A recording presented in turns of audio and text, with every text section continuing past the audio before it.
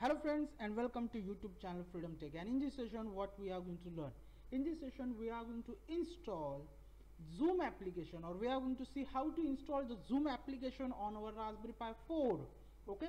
So before we move to our practical friends if you learn something from our videos please consider to subscribe our channel. Okay friends thank you so much and just let's get started.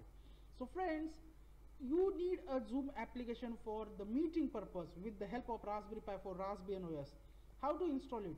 Simple. Easiest way i'm going to show you you need to simple install first raspberry pi apps on your raspberry pi 4 i have created here a repository. As you can see the repository name is rpi app. And inside that i have created a rpi app.txt file. That's it. And then you need to simply open the file and you need to copy this command. Simply copy it. Open the terminal and just paste and hit enter. It will install the raspberry pi apps software on our raspberry pi 4 okay? So i have already installed the application. Okay? So installation completed. If you go here in menu section accessories as you can see the pi apps. Okay? You need to simply click on there.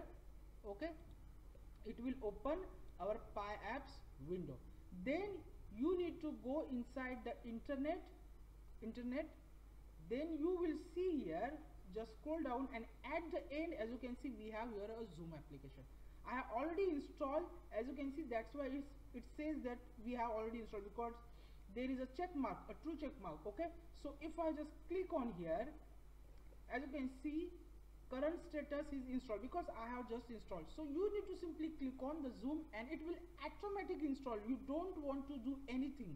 It will automatically install the all the recommended packages all the things. You need to simply click on the apps and then it will install. After that if you go in menu session okay friends let me just close our apps. And inside the internet as you can see we have here a zoom.